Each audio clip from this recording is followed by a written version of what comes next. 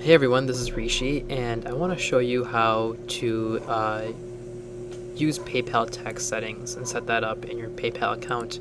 So when you're in your Flying Cart dashboard, click on Settings and then Payment, and then scroll down to the PayPal Standards section and click on Tax Settings, and then scroll to the bottom and hit Update Settings.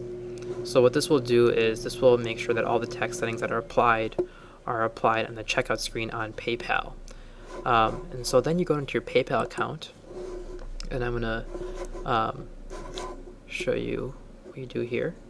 Um, you want to go to Profile, and then click on More Options, and then you'll see this screen, and then you want to click on My Selling Tools, and then you'll be at the screen that I'm at.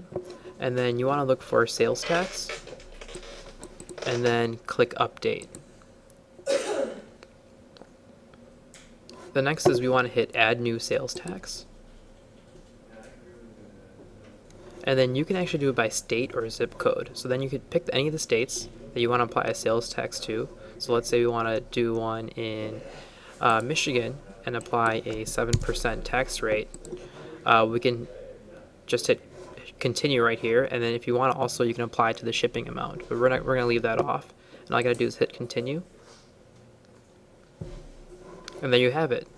Now, let's delete this one let's say you have multiple regions that you want to uh, set a sales tax to in a state.